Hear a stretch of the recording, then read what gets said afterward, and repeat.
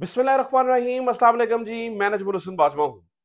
आज यकुम अप्रैल है, सोमवार का दिन है और 21 रमजानुल मुबारक है।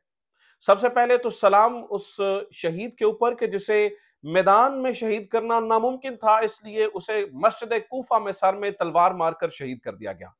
आज आज जो है वो हज़रत अली करमुल्ला वजहो की शहादत का दिन है। तो आज के दिन का आगाज़ उनकी जात पर लाखों करोड़ों सलाम के साथ।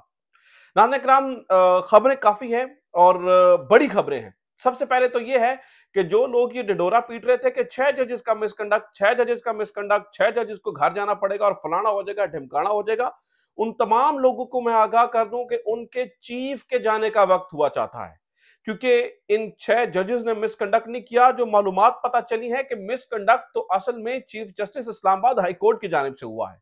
और जो मामला पता चले हैं यानी कि एक तो ये खत है जो कि छह जजेस की जानब से आया। इससे पहले भी दो खतूत जनाब मोहतरम आमिर फारूक साहब को लिखे गए और जो उनमें इंकशाफात हैं आपको हिला के रख देंगे। ऐसी ऐसी बातें हैं कि आपको अंदाज़ा हो जाएगा, समेत उस तरह, समेत उन मामलात के किस तरह से इमरान खान को कैद में डाला गया, किस तरह से इमरान खान के केसेस को डील किया गया, किस तरह से यकतरफा इमरान खान के खिलाफ फैसले किए गए। नाजन कराम वो कच्चा चट्ठा खुल गया है। वो जो खतूत, एक तो ये है ना कि ये पब्लिक हो गया खत वो जो खतूत पब्लिक नहीं हुए, उन्होंने कच्चा चट्ठा खोल दिया है। और नाजन कराम मैं आपको बता दूँ कि कमज़ोर से कमज़ोर कमीशन में बिठा दें तो जाना पड़ेगा जनाब चीफ जस्टिस आमिर फारूक साहब को। पाँच चीज़ें पाँच चीज़ें मैं आपके सामने रखने जा रहा हूँ जो इन जजेस ने लिखी हैं, जो इससे पहले खतूत आए हैं। वो पाँच चीज़ें ना सिर्फ़ चीफ जस्टिस आमिर फारूक को घर जाने का सबब बनेगी, बल्कि वो पाँच चीज़ें सुनकर आपको ये अंदाज़ा हो जाएगा कि यही कमीशन यही कमीशन 20 परसेंट भी नेक नियति से काम किया तो ये इमरान खान को क्लीन चिट दे के उठेगा। और जस्टिस आमिर फारूक और काजी फायज साहब के घर जाने का परवाना दे के उठेगा। ये मैंने पाँच चीज़ें जो इस खत के अंदर हैं वो मैंने आपके सामने रखनी है। इसके अलावा नाजन कराम मैं आपको ये भी बता दूँ कि पाकिस्तान तहरीक इंसाफ एक बहुत बड़ा एहतजाज करने जा रही है लेकिन शेर अफजल मरवत कोई और बात कर रहे हैं। वो कह रहे हैं जी पार्टी के अंदर से लोग हैं जो कि ये चाहते हैं एहतजाज ना हो वो कौन से लोग हैं और ये क्या कहानी है उसके ऊपर भी मैंने आपके सामने आ, कुछ चीज़ें रखनी है। और मैं आपको बता दूँ नाजन कराम के पंजाब के अंदर मुकम्मल लड़ाई का फैसला कर लिया गया है, जो कि राना सनाउल्ला साहब को पंजाब में लेके आया जा रहा है, जो कि ये चाहते हैं कि पाकिस्तान तहरीक इंसाफ के वजूद को ही खत्म कर दिया जाए, इमरान खान के वजूद को ही खत्म कर दिया जाए।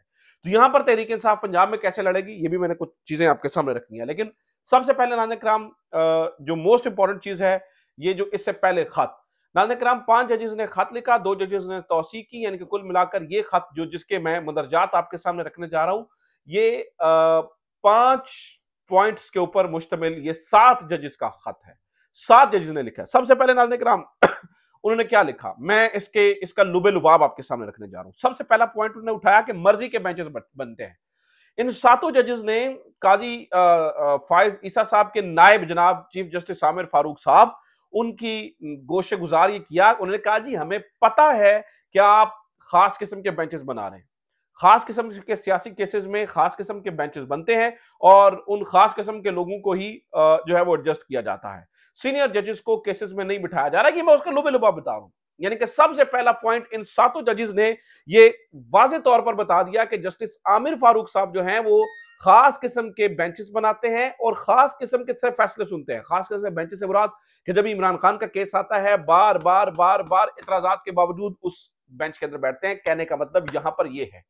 यानी इमरान खान मना करते हैं कि आप मेरा केस ना सुनिए लेकिन ये किसी और को केस नहीं सुनने देते। अपने साथ सिर्फ़ जस्टिस मियाँ गुल हसन औरंगज़ेब के साथ कंफर्टेबल है उन्हें साथ बिठाते हैं।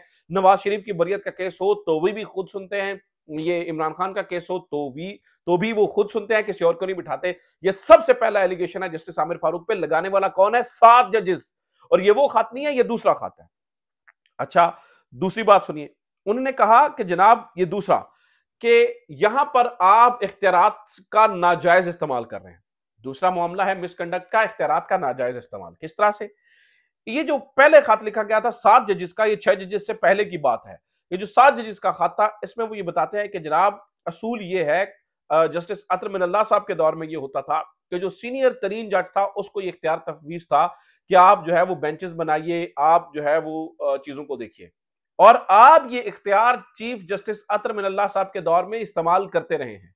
आपके पास यानी कि जस्टिस आमिर फारूक साहब के पास ये इख्तियार चीफ जस्टिस अतर मिनल्ला साहब के जमाने में था। लेकिन अब जब आप चीफ जस्टिस बने तो आपने इस इख्तियार को अपने पास ले लिया। नाने ग्राम मिसकंडक्ट का दूसरा नुकता। यानी ये इख्तियार चीफ जस्टिस आमिर फारूक साहब ने अपने पास ले लिया और senior just, chief justice chief justice के बाद जो सीनियर तीन जज हैं जस्टिस मोहसन अख्तर क्यानी उनसे ये इख्तियार, उनको ये इख्तियार दिया ही नहीं है।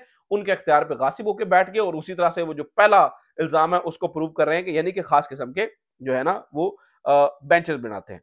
फिर इन्होंने नाजराम तीसरी जो चीज़ लिखी, उन्होंने कहा जी इंटेलिजेंस एजेंसियाँ अब ये पहले भी लिख रहे हैं, वो बार बार चीफ जस्टिस आमिर फारूक को बता रहे हैं कि इंटेलिजेंस एजेंसियाँ हमें तंग कर रही है।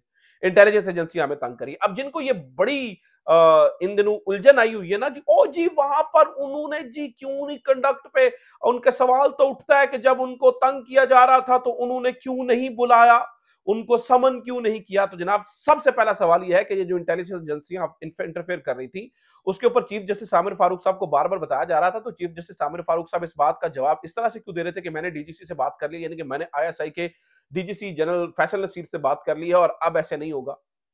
सवाल तो ये है कि वो किस हैसियत में मिल रहे थे जनरल फैसल नसीर से?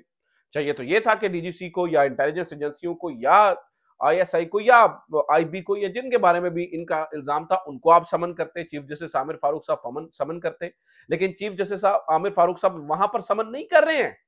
वहाँ पर पर जलते हैं, वहाँ पर यही लौंडे लपाड़े। मैं इनको ये जो है ना वो माजरत के साथ, इनका मैंने एक और नाम रखा होता था, बूढ़े लिफाफे। बूढ़े लिफाफे। ये वही बूढ़े लिफाफे हैं जो इस चीज़ को डिफेंड करते हुए नज़र आएँगे कि आमिर फारूक साहब ने बात करके ठीक कहा, लेकिन आने ये अगेन मिसकंडक्ट मिसकंडक्ट मिसकंडक्ट ये तीसरा मिसकंडक्ट है जो उनके ऊपर बनता है। चौथा मिसकंडक्ट लोअर कोर्ट्स के जजेस लोअर कोर्ट्स के जजेस के बारे में सबसे ये इन्हीं जजेस ने खत में लिखा कि एक बात बताइए कि उन जो लोअर कोर्ट्स होते हैं, उन्हें, उनका ताल्लुक हाई कोर्ट से होता है, ना कि चीफ जस्टिस हाई कोर्ट से। जो खास किस्म के फैसले देता था, आप उन्हें निशान इबरत बना देते थे, यानी कि यहाँ पर जो है ना, वो बात हो रही है जब इमरान खान के निकाब, के मुद्दत वाला नाकाबले समात उसको कहा, करार दिया तो उन जज साहब को ओएसटी बना दिया गया। यानी कि जिसका दिल करता था, चीफ जस्टिस आमिर फारूक साहब, जिसको दिल ओएसटी बना देते थे, जिसको दिल जो है ना, वो स्पेशल जो है ना, वो जज का अहदा दे देते थे। तो यहाँ पर ये कहा जा रहा है कि जनाब, ये क्या चक्कर चल रहा था? उन्होंने जो है ना वो आ, हम ठीक है आपकी इज़्ज़त करते हैं लेकिन हम कॉन्स्टिट्यूशन ऑफ़ पाकिस्तान और हम अपने जबता अखलाक के भी पाबंद हैं हम कानून और आइन के भी पाबंद हैं। तो आपसे ये सवाल बनता है कि ये लोअर कोर्ट्स में क्या चल रहा था? यानी कि जस्टिस आमिर फारूक साहब यहाँ पर इन्हीं के साथी जजेस बता रहे हैं कि लोअर कोर्ट तक जो है ना वो आ, नीचे सरायत कर चुके थे और अपनी मन मर्ज़ी के फैसले ले रहे थे पांचवा मिसकंडक्ट ठीक है?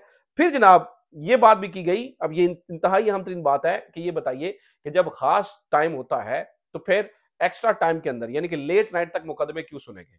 और लेट नाइट तक मुकदमे सुनेंगे यानी कि सम टाइम तो रात ढाई ढाई बजे तक मुकदमे सुने गए। ये भी चीफ जस्टिस आमिर फारूक साहब से पूछा जा रहा है, यानी कि जब लोअर कोर्ट्स को बताया गया है कि टाइम यहाँ से लेकर यहाँ तक है तो फिर लगता यह था कि खास फैसले देने थे और खास फैसले देने के लिए रात देर तक जो है ना वो इन मुकदमात को सुना गया। ये मैं और आप नहीं बोल रहे हैं, ये चीफ जस्टिस को मुखातिब करके सात इस्लामाबाद हाई कोर्ट के जज बोल रहे हैं, सात। समेत मियाँ गुल हसन औरंगज़ेब के सात जज जो है ना वो लिख रहे हैं। तो मुझे बताइए कि फिर यहाँ पे मौजूदा जो यानी कि चीफ जस्टिस आमिर फारूक साहब है, वो किसी एक जगह से भी, किसी एक कोने से भी आपको बचते हुए नज़र आ रहे हैं? मियाँ अपना ये जो जस्टिस आमिर फारूक साहब है, ये सीधा सीधा मिसकंडक्ट का केस बनता है और ये नाजन कराम यहाँ से फारग हो रहे हैं। अच्छा जनाब, मैं आपको ये भी बता दूँ, दूसरी जानब सुन लीजिए, पाकिस्तान तरीके इंसाफ का मामला क्या है? पाकिस्तान तरीके इंसाफ के पास नाजन कराम जब इतना बड़ा मवाद आ रहा है कि एक खात के बाद दूसरा खात दूसरे खात के बाद तीसरा खात और इस तरह से सारी डिटेल्स निकलती चली जा रही है। अच्छा मैं आपको ये भी बता दूँ कि ये जो खत जारी हो रहे हैं, ये इनको छह जजेस जारी नहीं कर रहे। ना वो जो सुप्रीम जुडिशियल काउंसिल में गया था, ना वो लीग छह जजेस ने किया था।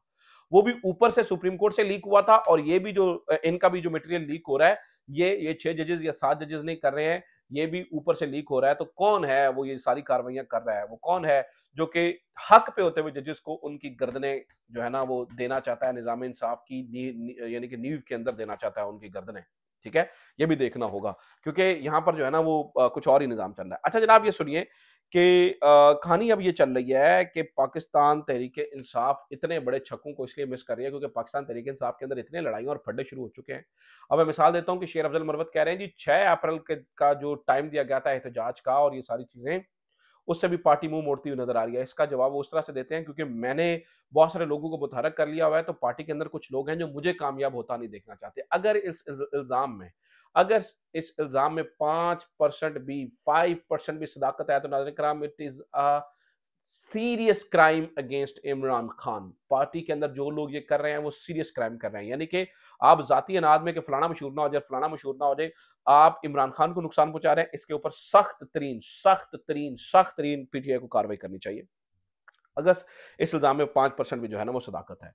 क्योंकि दूसरी जानब नाजन कराम, जो दूसरी पार्टी है, वो बिल्कुल मतलब तेल शेल मारकर मैदान में आ चुकी है, चूँकि उन्होंने मुशीर दाखिला राना सनाउल्ला को बनाने का इरादा कर लिया है, क्योंकि पंजाब में अगर निमटना है, क्योंकि पंजाब से अगर काफिले जाने हैं तो यहाँ पर तगड़ा वज़ीर दाखिला होना चाहिए। इसलिए जो है ना, वो वज़ीर कानून, मुशीर दाखिला या मुशीर वज़ीर कानून बनाने का राना सनाउल्ला को फैसला किया गया है। और राना सनाउल्ला साहब ने आते ही जब उनका फैसला हुआ तो उन्होंने कहा, जी, या तो अब इमरान खान का सियासी वजूद रहेगा या पाकिस्तान। यानी कि वो ये कह रहे हैं कि अगर इमरान खान का सियासी वजूद होगा तो पाकिस्तान ही नहीं रहेगा। यानी कि ये लोग इस हद तक चले गए हैं, ये लोग इस कदर एक्सट्रीम पे चले गए हैं और इनके ऊपर हाथ रखने वाले भी एक्सट्रीम पे चले गए हैं। नाजन कराम इस वक्त एक चीज़ पाकिस्तान को बचा सकती है और वो ये है कि अवाम कैसे रिस्पॉन्स, रिस्पॉन्ड करती है। क्योंकि इन्होंने खाला जी का वाड़ा समझ लिया हुआ है। बहुत सारे ताकतवर लोगों ने, राना सनाउल्ला जैसे लोगों के ने और चीफ जस्टिस आमिर फारूक साहब का जिस तरह से कंडक्ट है, उन्होंने समझ लिया कि जो दिल करते रहेंगे और कुछ भी नहीं होगा, अवाम को ये साबित करना होगा कि अवाम इस पर कैसे रिस्पॉन्ड करती है। अपना ख्याल रखिए, खुदा पाकिस्तान, जिंदाबाद।